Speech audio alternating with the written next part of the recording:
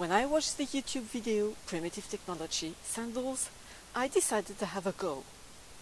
In this video, I explain why and how it's different. Willow is growing in my garden and will replace Lawyer cane I've never seen in Brittany. And here is my primitive saw, an oyster shell. It will replace the stone axe I didn't make. So I first cut a willow shoot with my saw. I remove the leaves, then I remove the bark in order to get two long strands. I split those strands in two parts, so I got four strands and let them dry. I curved the peeled rod on my knee until I got the shape drawn on my paper model. I started weaving bark from small rods, and then I used peeled rods. It is standard weaving, over, under.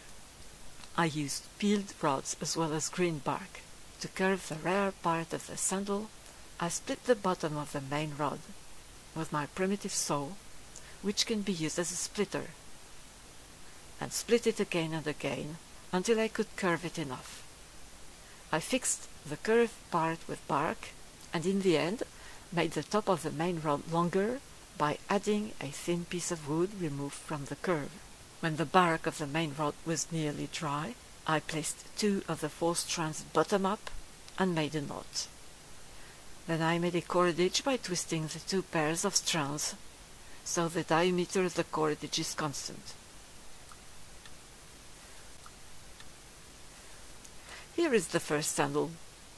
But I cannot say these sandals are so quick to make that I've already got two pairs. I can just say these sandals are not so easy to make, so I only made one sandal.